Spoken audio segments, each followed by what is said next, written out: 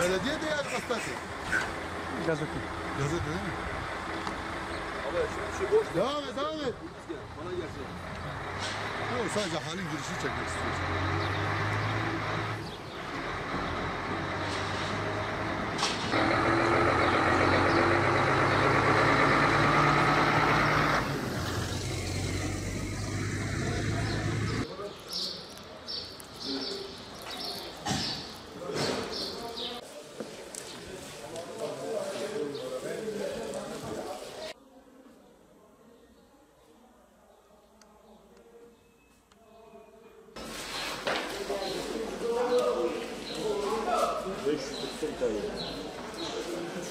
Virüsten dolayı fiyat bakımından diyelim hiçbir aksaklık yaşamıyoruz.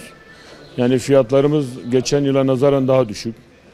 Bir de Batman sebze hali şu anda bütün Doğu Güneydoğu'ya hitap ettiği için bütün çevre illerin buraya gidip gelmesi biraz kısaltılırlı virüsten dolayı. O yüzden fiyatların yükseleceğini pek fazla sanmıyorum.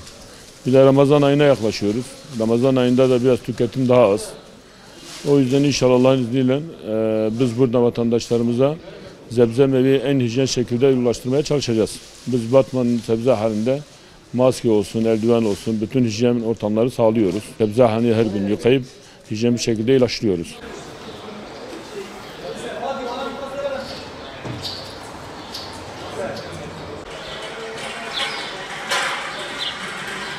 Koronavirüsten önce biraz sıkıntılarımız vardı. Ama şimdi bu koronavirüs çıktıktan sonra haliyle insanlar tedirgin olmaya başladı.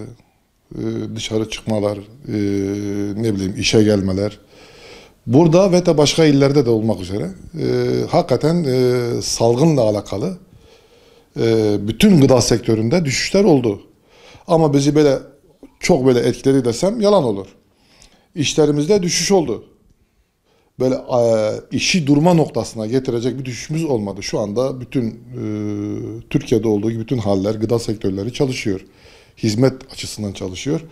Gıda sektörü ve sebze meyve, yaş sebze meyve olduğu için bize bir sıkıntı çıkarmıyorlar. Mallarımız geliyor, gidiyor. Bu 31 ilde yapılan mesela bu e, sokağa çıkma yasağı dışında e, geçen hafta biraz sıkıntı yaşadık. Arkadaşlarımız biraz boşa düştü. Haliyle herkes Batman hali açık olduğu için buraya bir yığılma söz konusu oldu. Geçen seneye nazaran şu anda sebze meyve fiyatları e, yüzde 50 fark etti desem doğrudur. E, Geçen sene bu vakitlerde yani dördüncü ayda bugün dördüncü ayın 17'si dördüncü ayda biber e, 10 lira civarıydı. Şimdi 3,5-4 lira civarında seyrediyor. Domates 5-6 liraydı geçen sene. Bu sene 3,5-3 lira civarında seyrediyor. Keza salatalık bu şekil. 3-4 liraydı salatalık. Bu, bu şu anda e, 2 lira, 1.800, 2 lira arasında seyrediyor. E, geçen sene nazaran fiyatlar iyi. Yani %60, %70'lik bir düşüş var fiyatlarda geçen sene nazaran. Virüs dolayısıyla azalan talepten olmuş olmasaydı şu anda yani fiyatlar bu şekilde gider miydi? Gitmez. İlla ki biraz yükselişe geçerdi. Ama şu anda geçen seneye nazaran fiyatlar iyi yani.